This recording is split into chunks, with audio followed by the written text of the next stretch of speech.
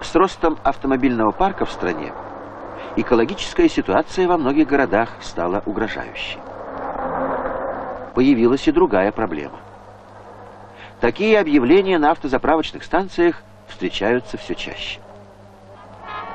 Казалось бы, идея, способная облегчить экологическое бремя или дать существенную экономию, должна увлечь любое министерство. Карбюраторщик Симферопольского таксопарка Павел Демьянович Гнатовский изобрел регулирующую иглу для карбюраторов автомашин, дающую сразу два потрясающих эффекта.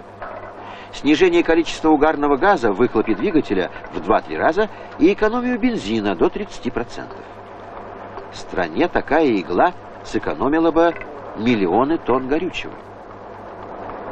В таксопарке идею Гнатовского поддержали и помогли довести до практического результата его соавторы, электромеханик-диагностик Василий Григорьевич Лапин и инженер Вениамин Михайлович Лукашов.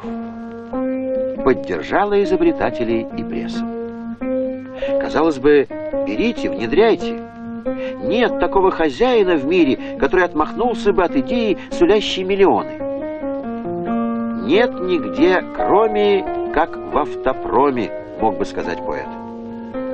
Главный институт страны по разработке автомобильной техники фактически закрыл перед изобретателями дверь.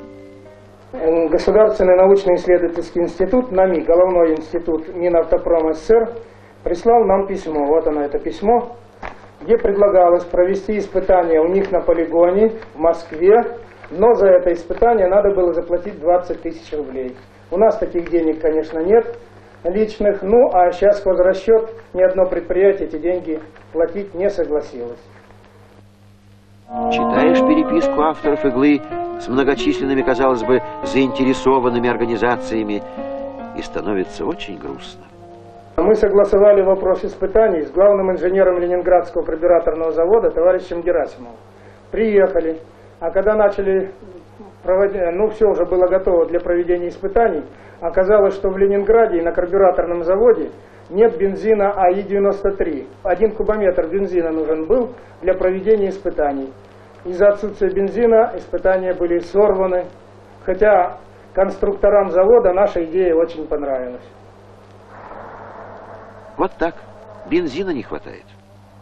Но если расстаться с нашим привычным головотяпством, он появится и для испытаний, и для автомобилистов.